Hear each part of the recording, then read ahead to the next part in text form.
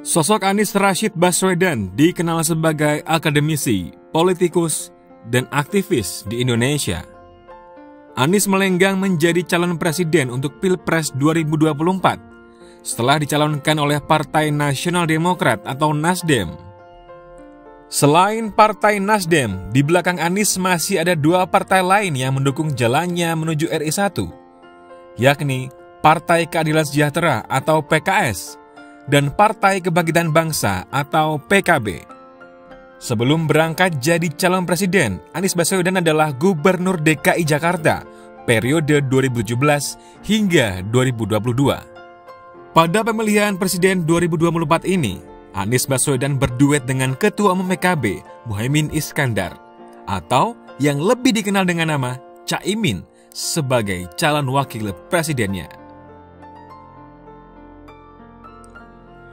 Anies Rashid Baswedan lahir di Kuningan, Jawa Barat pada 7 Mei 1969.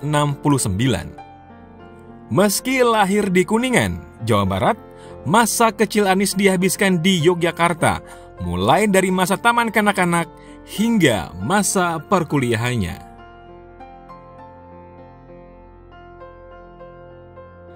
Anies tumbuh dari keluarga yang memiliki latar belakang pendidikan tak main-main.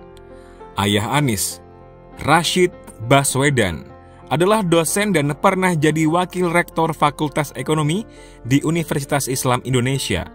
Sementara ibunya, Aliyah Rashid Baswedan, merupakan dosen dan guru besar emeritus di Ilmu Sosial dan Ilmu Politik Universitas Negeri Yogyakarta.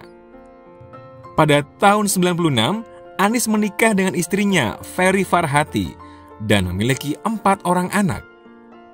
Mereka adalah Mutiara Anissa Baswedan, Kaisar Hakam Baswedan, Mikail Azizi Baswedan, dan Ismail Hakim Baswedan. Di tahun 2007, Anis pernah menjabat sebagai rektor di Universitas Paramadina.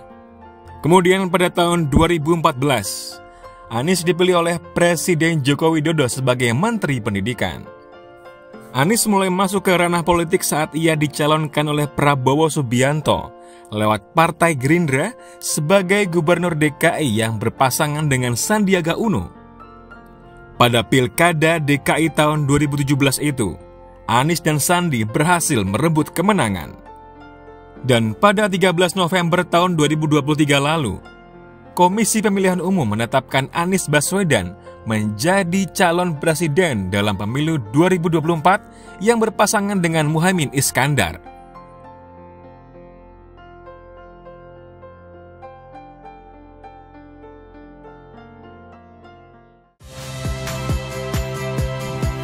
Saya Cynthia Rompas.